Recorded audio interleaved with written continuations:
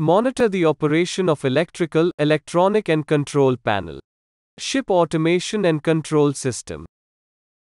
On a ship there are many parameters that needs to be controlled or monitored including temperatures, pressure, level, viscosity, flow control, position of vessel, speed, torque control, voltage, current, machinery status, on, off, and equipment status, open, closed.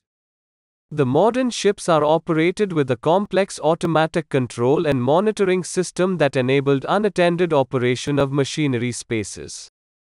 Vessels capable of safe operation at any period of time qualify as UMS, unattended machinery space, ships.